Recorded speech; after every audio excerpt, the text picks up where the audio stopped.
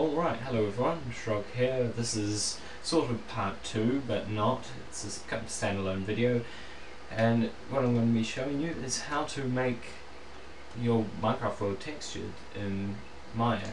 So if you'd watched my previous video, you'll be up to this stage here, which I'm at.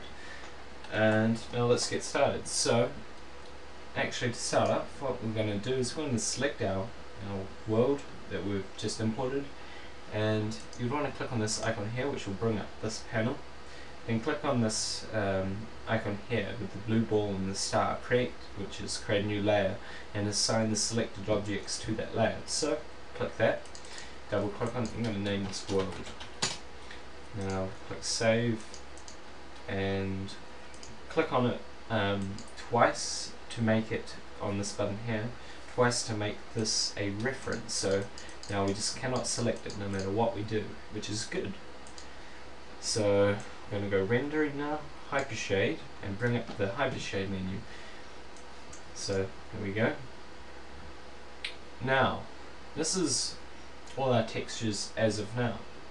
But we want to make the actual Minecraft textures, which is a very easy thing to do. So we're going to double click on the dirt, drag ambient color right down, and click on this checker, click File, Filter Type to Off, put the file here, and we want to find the location where we exported our world to. So I made this tutorial world, and let's find dirt.png under the text folder. So we're going to open that up. Now that's done. I'm going to open up now dirt grass, which is the dirt with grass on top, or side face of dirt and basically repeat what we did for dirt. So, but now our texture folder will be remembered, so we don't need to go and find that again. So, dirt, grass, done. Now, grass top, we do the same thing. I'll just do it a little bit faster this time. So, grass top, done. Now, let's go a bit more advanced and let's work with um, objects of transparency. So select the flower yellow or flower red if you've got one on screen, or a mushroom for that in that case. I'm going to drag the ambient color right down, click on the checker, file, filter type off. By the way, filter type off, this basically means that the texture will not be blurred together, the pixels will not be merged, so it just stays true, true to Minecraft.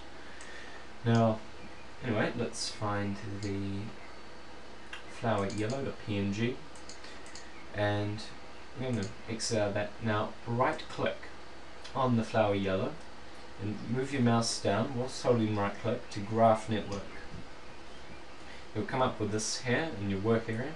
So middle mouse click on your texture here. Might come out kind of uh, ugly, but that's because it's got transparency. Now, whilst you're holding with the middle mouse button, drag that over to the main texture on the sphere. Let go and drag your mouse down to, don't drag, just move your mouse down to transparency. Click on that and there you go, transparent object in Minecraft. Now to make it look better, because as you can see down here, actually, now here's another handy tip. Click on this. This will show textures. Without it, it will just show grey, you don't want. So textures. Now let's find a yellow flower. There, where's one? Uh, here's one. So that looks kind of ugly because that's unfiltered. And, um, but we can make it filtered by coming down to hardware texturing under the attribute editor and click on texture filter nearest. And now that will change to pixelated, which is good. Everyone likes that. So now we've got that. We can just finish doing that to some of the other main ones like leaves.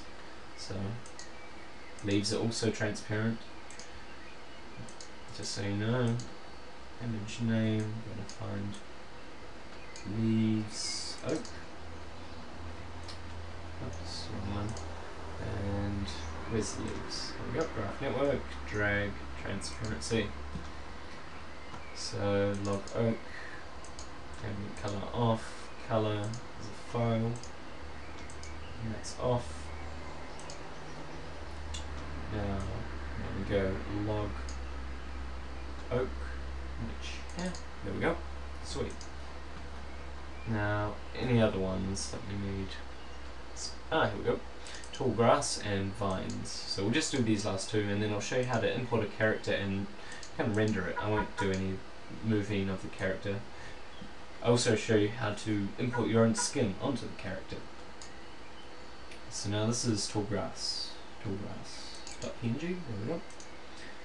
Right click, graph network, drag, transparency, and same for vines.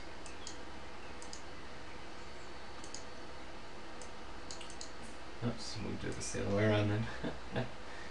um, so now this is leaves, is it? Yeah. Uh, oh, vines. That's it. Vines. Filter that off. And just close this. Graph network. Drag. Transparency. Done. Swing. Oh, water. There we go. This is another thing for water. I'm going to drag ambient color off and transparency up so water is transparent. Now to file, turn it off, and all the way down to the end find water. Now since we've added manual transparency we don't need to worry about doing anything else for that. But another thing you could do is actually I think this is uh, is this reflective? I'm not too sure. Um, I believe it's automatically set to be reflective. Anyway, here we go. So we've got our kind of textured scene. I haven't done the sand, but it's not too important. And water is transparent, so you can see through it. And now let's import a character. Uh, I'll add a download link to this uh, character rig that I made a while back. So That'll be handy for you. So I'm going to click import, find the folder that you unzipped it to. So I'm going to do this one. And I, I'll choose Steve with swords, eh? This is one I made a while, a while back. Now we've got him here. He's all nice and textured. Grab the main controller and shift him up. Now, all clever people in the world will realize that Steve's far too big. So, yes, we'll come over to scale and whilst selecting the main controller, we'll press 0.14 and change all scale XYZ to 0.14 and pressing F we zoom in on him. And here he is, nice and happy with his two swords. Um, the upload uh, the demo link for this character doesn't actually contain him with the two swords. I'll probably upload it later and I'll model all the other kind of tools for you. Now we've got him here and oh so you want your own skin? Um, we will not, not do that. Uh, go window rendering hypershade open up the hypershade again and find Lambert 1 now you probably want to rename this to I'll call Shrogg and go to color. Character1.png. I believe on my desktop, under photos, I have my nerd skin, which I like very much. Now, done. There we go. So, kind of doesn't really fit quite right with the swords and all, but that doesn't matter. Another thing we can also do, whilst I'm at it, is apply a different texture to the swords. So color, I believe I saved the, I've got them somewhere on my computer.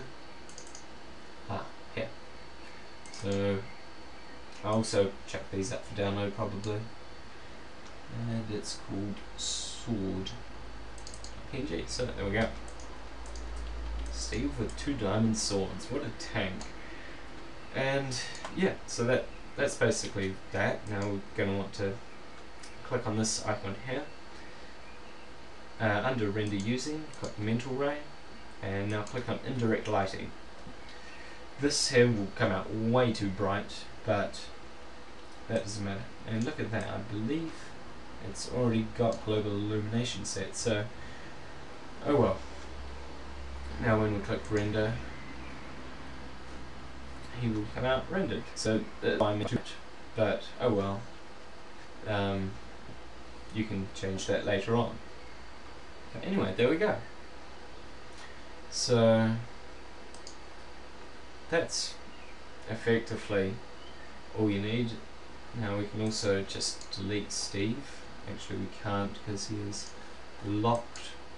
But um, yeah, so thanks for watching. If you've got any questions or other questions, comments, don't be afraid to ask. I, I will reply. I love replying to my comments. And yeah, don't forget to like and subscribe if you feel like it. And thanks for watching. Goodbye.